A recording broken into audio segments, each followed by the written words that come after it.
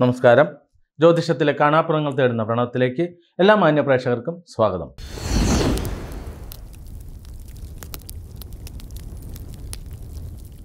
ഇന്ന് നമ്മൾ പറയുന്നത് സ്വയം നമുക്കും പിതൃപ്രീതി വരുത്താം. അതെങ്ങനെയാണ്? നമ്മൾ തന്നെ ഇതിനു മുമ്പ് പറഞ്ഞിട്ടുണ്ട്. നമുക്ക് പിതൃപ്രീതി വരുത്താൻ ഉദ്ദേശിക്കുന്ന ദിവസം പകൽ നോൺ വെജ് കഴിക്കാതിരിക്കുക.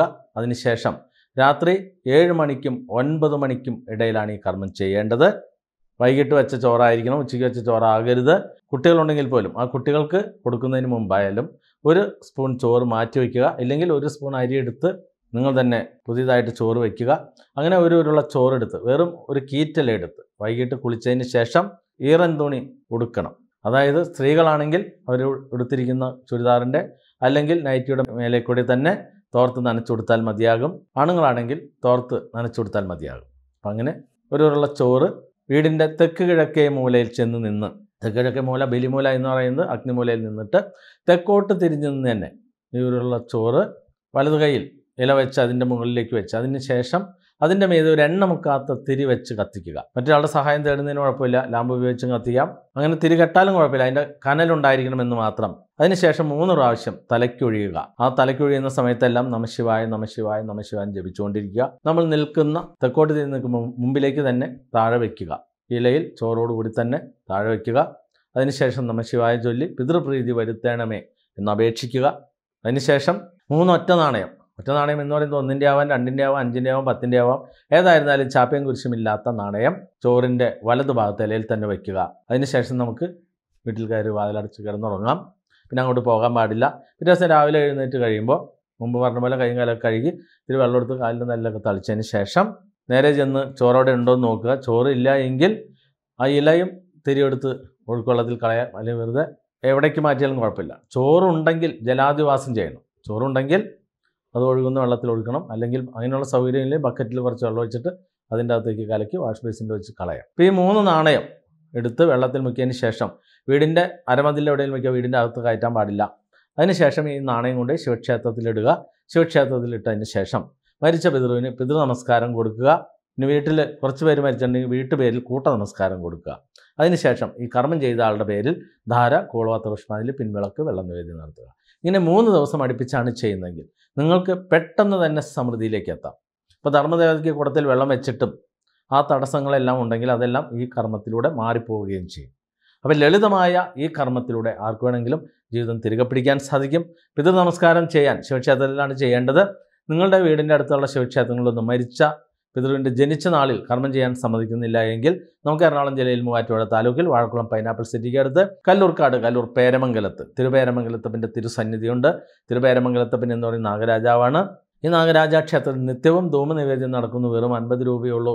അൻപത് രൂപ മുടക്കി ഒരു ധൂമനിവേദ്യം നടത്തിയതിന് ശേഷം നിത്യവും ഒരു രൂപ നാണയം തലയ്ക്കൊഴിഞ്ഞ് പ്രാർത്ഥിച്ച് എന്റെ കലൂർ പേരമംഗലം വാഴും നാഗരാജാവെ എന്നെയും എന്റെ കുടുംബത്തെ ഒന്ന് രക്ഷപ്പെടുത്തി തരണേ. എന്ന പ്രാർത്ഥനയോട് മുന്നോട്ട് പോവുകയാണെങ്കിൽ ജീവിതത്തിൽ വലിയ മാറ്റങ്ങളുണ്ടാകും. അതേപോലെ തന്നെ ഇവിടെ ദേവദേവൻ മഹാദേവന്റെ ക്ഷേത്രമുണ്ട്. പ്രണോമലയിൽ ഇരുപത്തിരണ്ട് ക്ഷേത്രങ്ങളുണ്ട്. ഇരുപത്തിരണ്ട് ക്ഷേത്രങ്ങളിൽ ദേവദേവൻ മഹാദേവന് പൂർണ പ്രതിശ്രമിക്കാവുന്ന കേരളത്തിലെ ഏക ശിവക്ഷേത്രമാണ്. സമ്പൂർണ പ്രതിഷ്ഠമിക്കാം ഇനി ഒരു പൈസ ചെലവില്ലെങ്കിൽ പോലും നൂറ്റിയെട്ട് പൂർണ പ്രതിഷ്ഠം വെച്ചാൽ പോലും ജീവിതത്തിൽ മാറ്റങ്ങളുണ്ടാകും. അപ്പോൾ ഈ മഹാദേവ ക്ഷേത്രത്തിൽ നിങ്ങൾക്ക് ഏത് വഴിപാടും ചെയ്യാം? പിതൃനമസ്കാരം. ജനിച്ച നാളിൽ തന്നെ മരിച്ച പിതൃവിന്റെ പിതൃനമസ്കാരം നടത്താം. നിങ്ങൾക്ക് ധാരയും കൂളപുഷ്പാതിൽ പിൻവിളക്ക് വെള്ളം നിവേദ്യം നടത്താം. സമ്പൂർണമായി അയിത്തവും അനാചാരവും ഇല്ലാത്ത ഈ ക്ഷേത്ര സംഘത്തിൽ ഭക്തനും ഭഗവാനും പൂജാരിമാരും തുല്യർ എന്ന രീതിയിൽ തന്നെയാണ് എല്ലാവരും ജനങ്ങളോട് സഹകരിച്ച് മുന്നോട്ട് പോകുന്നത്. അപ്പം ഇത്രയ്ക്കും അത്ഭുതകരമായ ഈ ക്ഷേത്ര സംഘത്തിൽ നിങ്ങൾ ജീവിതത്തിൽ ഒരിക്കലെങ്കിലും വന്ന് തൊഴുത് പ്രാർത്ഥിച്ചാൽ തന്നെ ഞാൻ ഈ പറയുന്ന കാര്യങ്ങൾ യാഥാർത്ഥ്യങ്ങൾ നിങ്ങൾക്ക് തന്നെ മനസ്സിലാക്കുവാൻ സാധിക്കും.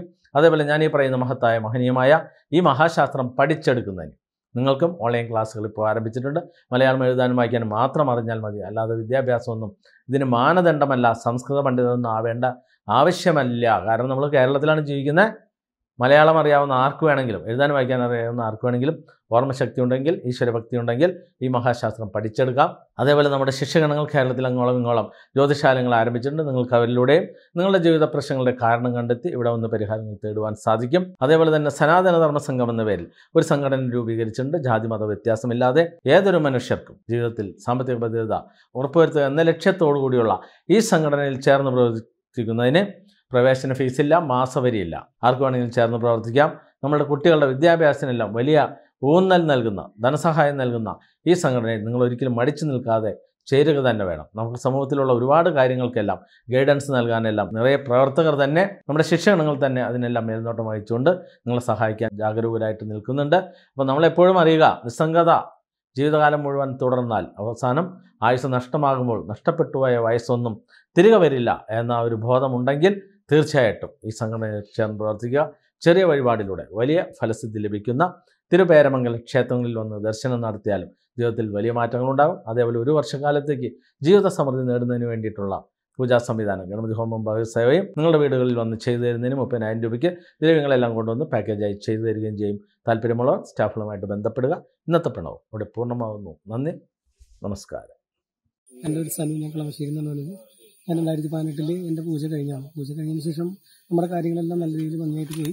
നമ്മുടെ ബിസിനസ് ആണെങ്കിൽ എല്ലാ കാര്യങ്ങളും ഭംഗിയായിട്ട് പോയി. പിന്നെ അതിനുശേഷം ബാധകൾ വന്നു. ബാധകൾ വന്നപ്പോൾ സാറിന്റെ അടുത്ത് തന്നെ വന്ന് ബാധകൾ നമ്മൾ ഒഴിവാക്കി പോന്നുകൊണ്ടിരുന്നു. അപ്പോൾ ഏകദേശം ഇപ്പോൾ കുറച്ച് പുതിയിട്ട് വന്നപ്പോഴാണ് സാറിന് വിളിക്കുക വീണ്ടും ഒരു ബാധ വന്നിട്ടുണ്ടെന്ന് പറഞ്ഞു. അങ്ങനെ സാറിന്റെ അടുത്ത് വീണ്ടും വീണ്ടും വന്നേക്കാണ്.